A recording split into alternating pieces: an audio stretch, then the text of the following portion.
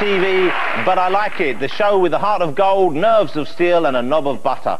And we're delighted to say that the show is already being hailed by critics as not Vanessa. Let me uh, introduce you to the teams. Our first team captain, Jack Dee, was once described as a midget terrier in a flashy suit. Great news for his tailor, but terrible news for the dry cleaner every time he passed a lamppost. Jack Dee, ladies and gentlemen. In the history of popular entertainment, surely the greatest talents are those known by just their first names. Elvis, Madonna, Cher. So let me introduce Trevor Neal and Simon Hickson.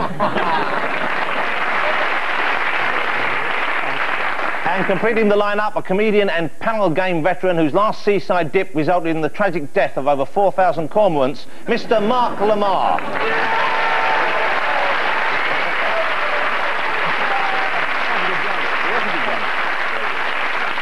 Opposing Jack in almost every respect, a comedian described by the Daily Mail as promiscuous and forthright, by the Sun as the undisputed master of the double entendre, and by the Sydney Herald as that puff off the telly, Mr. Julian Clary. By his side, one of the country's best-loved comedy actors, tonight in the unusual role of enjoying being the macho one for a change. Please welcome Mr. John Inman. And finally, on Julian's team, a highly dangerous animal. Normally a beast like this would only be allowed on TV if accompanied by two highly trained handlers. We couldn't afford that, so we had him spayed instead. it's Wolf.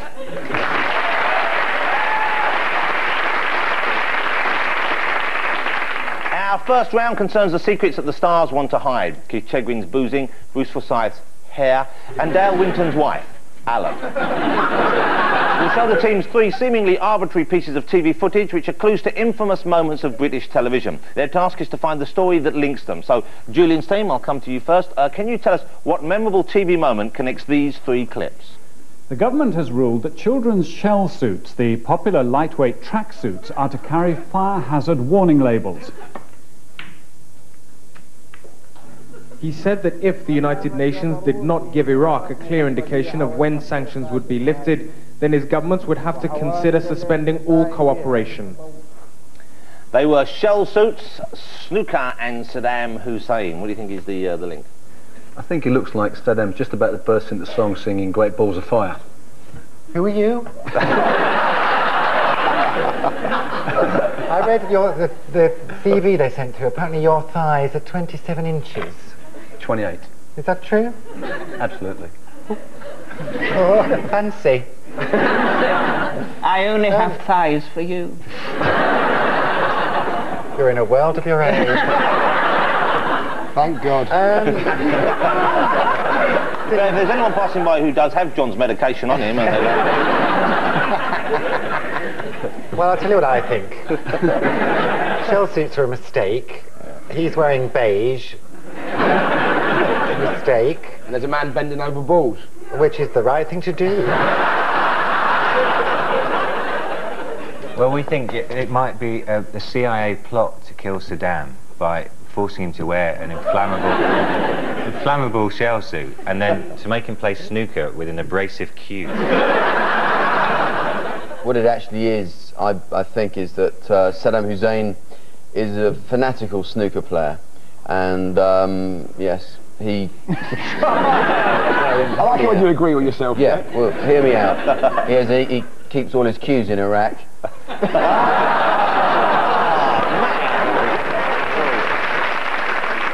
think I know the answer. What would that be? Right. Shell suits and sport. David Icke, sports commentator who wore shell suits, became famous for it, and then declared that Saddam Hussein was God. Team captain, what do you what do you think? right. It? The answer is um, David Icke, uh, who was a, a, a, snooker commentator, wasn't he? well, he was in the sports arena. And uh, he did make a prediction that uh, Saddam Hussein would uh, would cut up rough one day, and he. Why don't we? Why don't we? Why don't, why don't, why don't, why don't I stop you while you're very nearly ahead, and uh, let's see how close you actually were. If I am given information from beings who have proved to be perfectly accurate day after day after day in things they've told, told, told us are going to happen and they happen. They told you Saddam Hussein was dead and he's That's not. That's right. He's, yes, he is. Well, he, I watched his birthday party on the television yesterday. All I can all I can say to you is all that glitters is not gold. Hang about and watch and wait. But I'll tell say two things to watch for and let the alarm bells go if they happen. One is if they suddenly announce he is dead now, therefore they don't have to explain the past and, and what's happened over the last few weeks and the fact that he's been dead uh, for many weeks.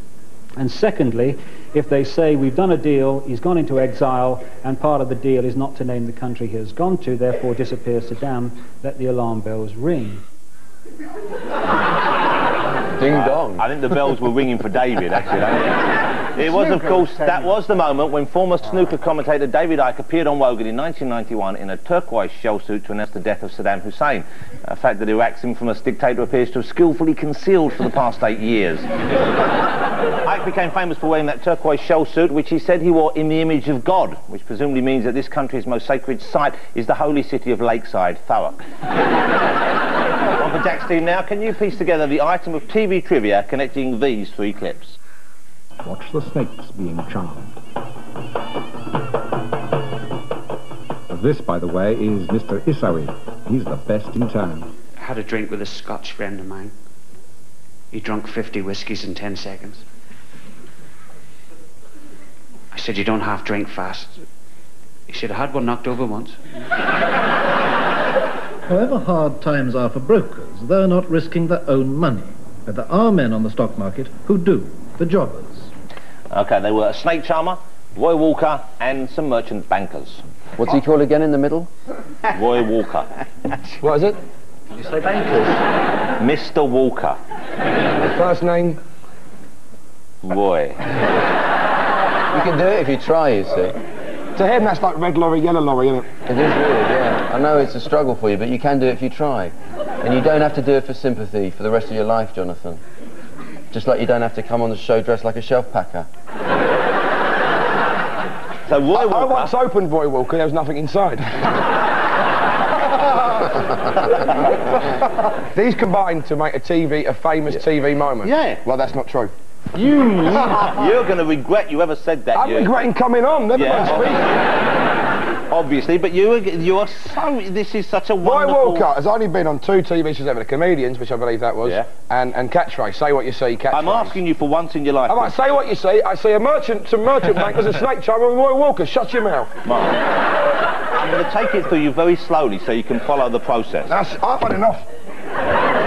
Mark, come back. Come on, come on, it's not like every night. I'm, Oh, I'm, I'm taking this seat. I'm not sitting now it's like a... I don't, I don't sit there. Jonathan, you don't know the answer, so we got to sit here for hours and make one up. I was Is trying that to it? catchphrase. Catchphrase. It was thing. A banker was on, and he said, "What's that?" He said, "It's a snake," and it was. Uh, uh, This say what is- this is- you know. Hold on. Hold on, I know the answer. I know the answer. the answer. I remembered, I do know the answer. Oh yeah, and the answer is. You're quite right, Jonathan. It's a very good question. Yeah, and you know the answer. You know why I know, and you know why I know you know the answer? Because I showed you this clip at my house about four years ago. That's why I know you know the answer. I've never been to your house. Don't say that to people. There's a clip Yeah. on, on the, the Say What You See show catchphrase Yes. that uh, the answer was snake charmer, but it looked like someone toss tossing off. You see, when we work together, you see what we can achieve. Let's see how. Let's see how wide we are. Center one. Five seconds. Here we go. 100, 300 Dumb waiter. Dumb waiter's not right. Sean's back. Here's the catchphrase.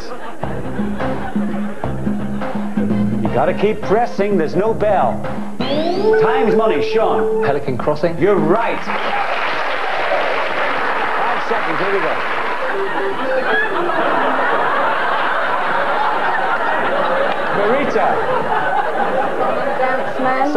Man. Song and Dance Man's good. It's not the one. Sean. To cut a long story short, Cut a long story short, that's the one we want.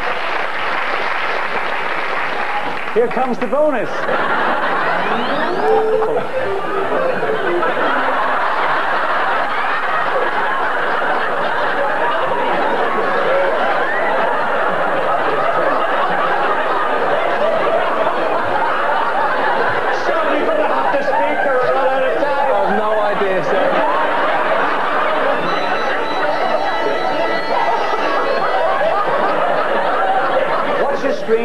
Concentrate. Here we go.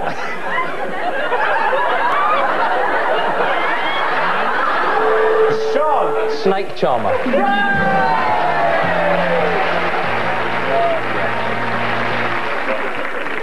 Ah, oh, dear. so I'm not the only one who lifts a top hat when he masturbates. Here we go, uh, ladies. What's so great? I'm Burlington Bertie. I rise at 10.30. What's so great is the, the woman, the female contestant, she just doesn't get what they're laughing at. She's completely in the dark. Okay, at the end of round one, I see that the scores are Julian's team are behind with three points. Jack's team masterfully striding into the lead with five.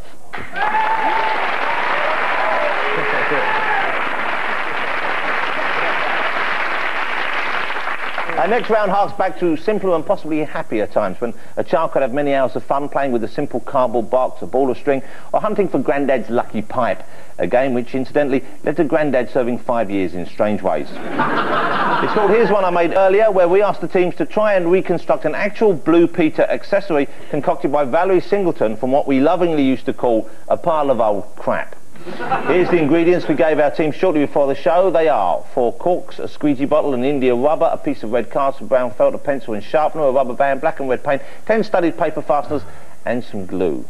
But what do you reckon Valerie Singleton actually made with them? Julian, you, you've got all the bits there. Um, we thought it could be various things. Something to keep your steroids in. um, but no, I decided in the end, and uh, did you want to speak? Sorry, before I say what no, I No, no, no, I just, I just want to turn that round because it says fairy. Um, well, no, I think it's, I think it's a boxing ring. You see, I think you fix these. Copy. That will be the floor bit, and then these would be the ropes round there. Ingenious. And then you paint it all up. This would be chopped up, would be the kind of audience things there. Yeah. And then out of this, you'd make little boxes. So you'd make a little boxer person. I don't remember associating Blue Peter with promoting the most noble art. um, what did you think? What did you guys uh, think Gentlemen, might you be made from that? what do you reckon? What do we? I thought it could be like a little boxing ring if you took these four Well, I saw the the, blue, the episode of Blue Peter that they made this thing. Did Th- ya? This was the ingredients to make Boyzone. no, it was because these are all the clips from the, from the pierced one. You know, the one that has all the piercings, and they're from Cork, aren't they, or somewhere like that. and, uh, no, it's, no, no, it's the inside of Vanessa Feltz's head. Jack, team captain, what did you come up with as your... Did you want me to show you? No, what I- just tell me first. Well, um, I basically uh, I believe that this is um, a bird um, bird uh, watching uh, uh, kit. yeah. Well, have a look at the minute. Julian, show, you made one. Let's see what you made. Let's Yeah. see your boxing ring in all its glory. I've had, I've had a lovely afternoon. Hey, that's not so bad. There is the boxing ring, and here, you, you be that one. That's at round six. What about me? I can't play here. Oh, shut up. oh, you brute, you brute. Hey, how wonderful.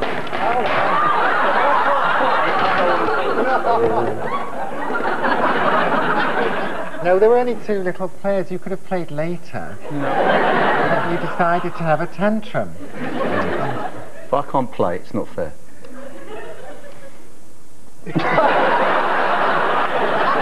What did you... Let's have a look at your... What was it, a bird I watching will- kit I for a very pathetic child or something? You uh, basically it's, it, this is.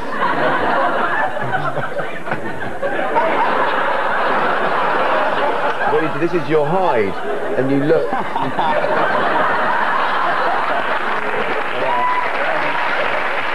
and um, what happens? You see, you uh, you the bird perches here. And the cork is actually disguised as a bit of bread, it's actually very sticky. And when the bird lands, he can't move away, so you have time to draw the bastard before it And uh, if he cuts up nasty, as some birds do, like a swan can break your arm with its wing, you know, um, and you've got these things, and if it gets a bit, you go, go, leave now, leave, and and then you get your drawing done, and that, and let's say, for instance, I did one earlier. I was, I was in the Blue Peter Garden, and that's what I came up with, Jonathan. Well, it's it's inspired. There's a certain kind of brilliance at work there. I'm not quite sure. Why have you put the big eyes on it? If it's a hive, why have you made yourself look like possibly the most threatening human Well, being no, no. ever to walk the earth? No, they're binoculars. They're But even so, the bird would see the binoculars and think, I won't perch on the magic pipe or whatever that is. How many, how many things did they make on Blue Peter that weren't any good anyway? Yeah, well, there is that. Right, let's just see uh, how close you both were. Here's what Val actually came up with. The pencil dog hound, something I think you'd find very useful indeed. And if I take his head off, you'll see why. It's full of pencils and pens and rulers and would be very useful indeed on a desk. There you go. It was. Look, here's one that I actually made earlier. Hold as on, I've can seen a see. grebe. For authenticity, I've given it just a little extra.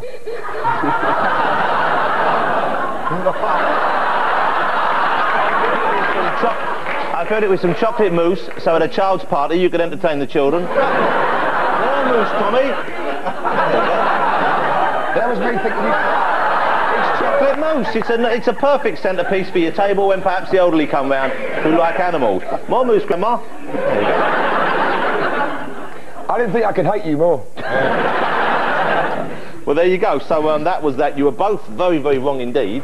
Out of a possible three, I'm going to give you. I'm going to give you. I've had to suffer violence. I'm going to give you two, and uh, uh, you know, I'm going to give you two as well, Thank you, Jonathan. just for sheer pathetic ludicrousness. There's any need for that. You can keep your points. No, uh, you know. At the end of that somewhat clumsy and mildly disturbing round, I see the scores now stand with Julian's team behind, just five points for you, I'm afraid, but Jack's team heading towards what must surely be a massive victory. They have seven points.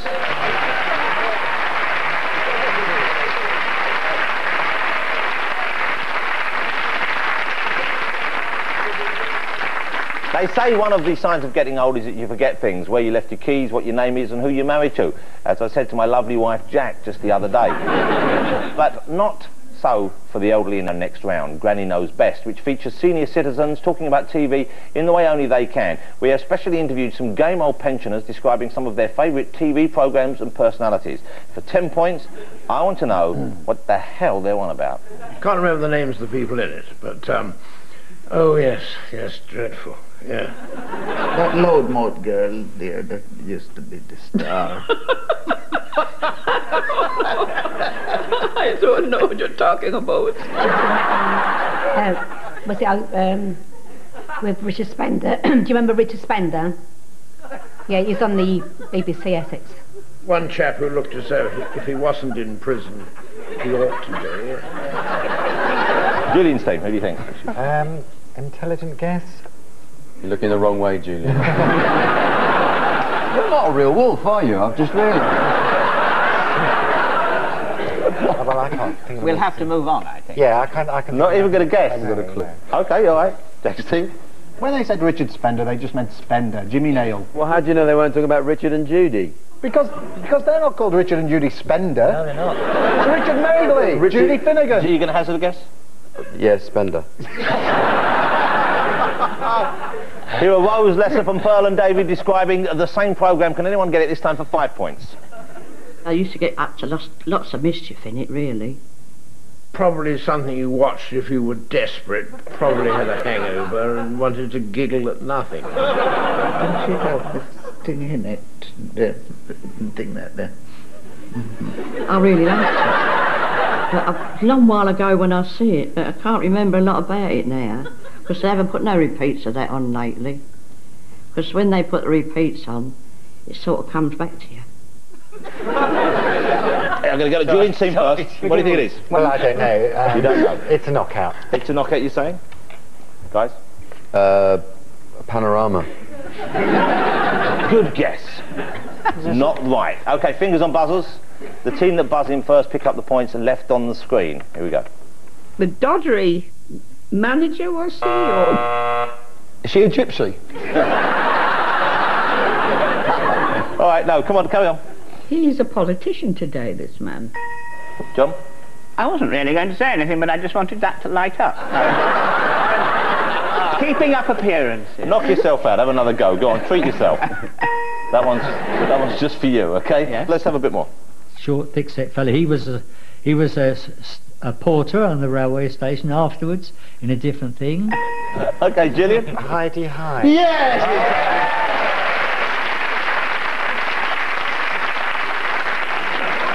yes, it's the Holiday Camp one that was Hi-de-Hi. Uh, it ran for eight years and occupied that slot known to us all as the I think I'll have a bath slot.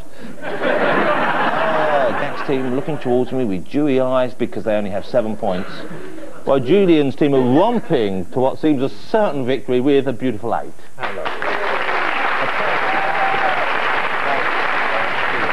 Our next round requires our teams to wear a face that is a mystery to them, like Cher just before the bandages come off. It's the round we call Who Are We, as the Queen apparently asked herself after a night on the ale. At my command, Julian and his team will each don a pair of Velcro goggles, upon which Jack will attach one of three TV face masks of his choosing, all belonging to a well-known show. So, uh, Julian's team, if you'd like to put your goggles on. Here you are. Okay. Hello. Goggle up. The object is for Julian's team to find out who they are by asking Jack's team on. the right questions. Jack's team can only answer yes or no, so Julian and team, uh, if Jack would like to go over and put the uh, mask on, you have some mask ready? Yeah.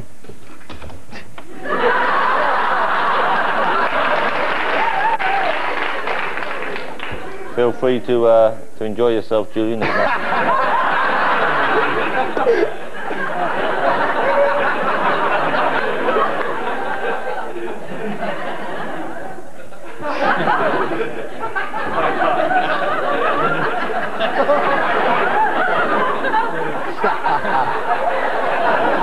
There is a certain poetic justice at work here, I feel. Julian, John Wolf, if you're ready and you'd like to ask questions. Is it a male? Don't rush, because we're having a great time. Are we three characters from a show? yes! Yes!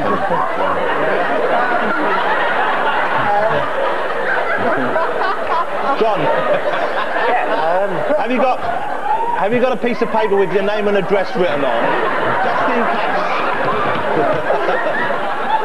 Are we on in the evening or during the day? The 70s. but it would have Am been. I male or female? Who knows? Yes. Is it a sitcom? Is it a what? Yes, Sitcom, yes, yes. sir. It is a sitcom. Yeah. Um, is it... Are there any animals in the show? No, hold on. Yes, Yes. yes. Sort of. There's Vaguely. Well, it's tough because I don't know whether you did we ever see the beast in question. Mm, it's not a, it's not But a the answer is yes. The answer is yes. Is There it a pussy?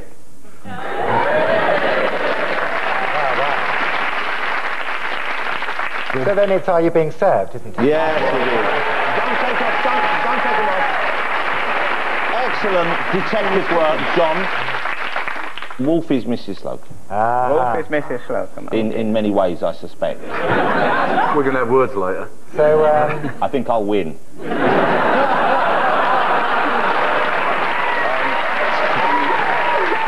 John, before you take yours up, would you stand up and do a little bit of a wave for us?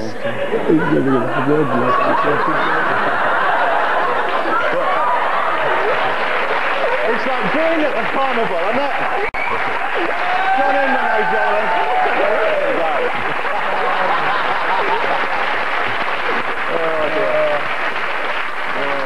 Your turn now, Jack's team. Uh, you've donned your goggles. Julian will now transform each of you into a famous TV face. Here he comes now with your mask. No peeking. And rules are just the Stand same. You can ask questions. Be gentle with me, Julian. there.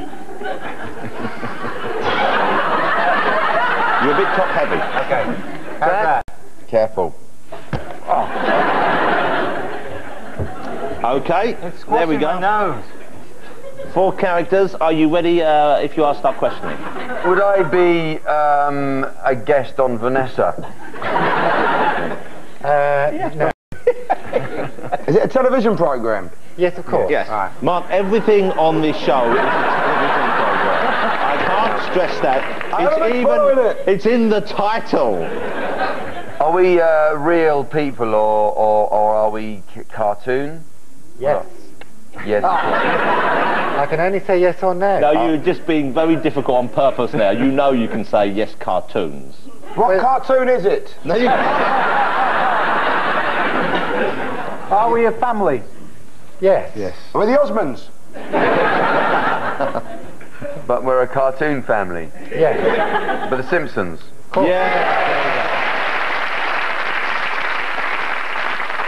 Well, as we head towards the end of the show, I see that Julian's team are behind with just 11 points. Jack's team, a fabulous 12.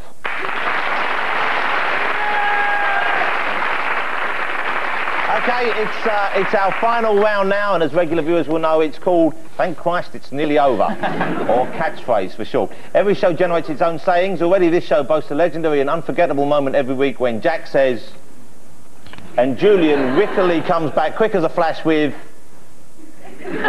solid gold, ladies and gentlemen. Teams, I'm going to give you the first half of a well-known TV catchphrase. Please finish me off. And while you're doing that, give me the second half as well, okay? You've got 90 seconds starting now. From the X-Files, the truth is... That... There's nothing else on. the truth is... Out there. Yeah, well done. Sir Scotty from Star Trek was number saying, she'll not take... It in the mouth.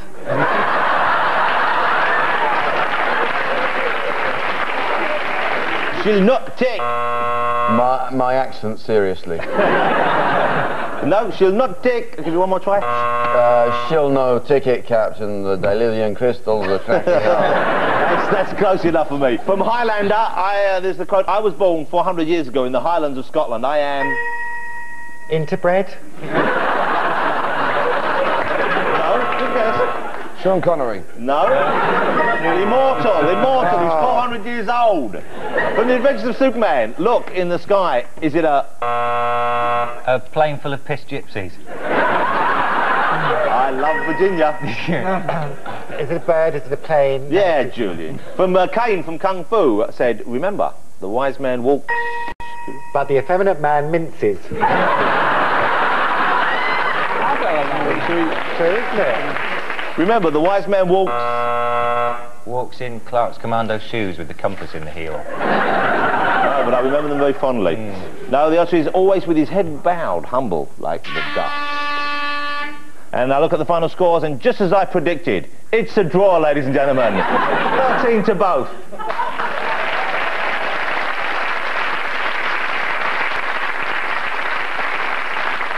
None of this has mattered. Oh, yeah. Oh, yeah. the beginning. Oh, Mark, like it really matters who Listen, wins listen, Buzzcocks listen. every week. There's four of us. We've got a better chance. here. Let them win because there's four of us. We'll let them You win. shut your face. We leave you with another look at the moment on Roy Walker's catchphrase when Mr. Chips appeared to be charming that enormous steak of his a little too vigorously for my personal comfort. Good night, everybody. Five seconds, here we go.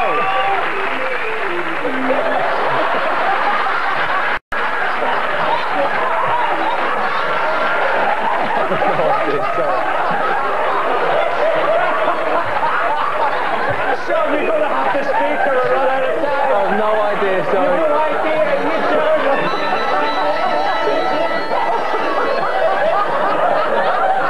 Watch your screens, concentrate.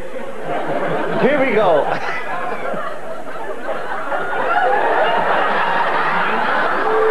Sean. Snake charmer.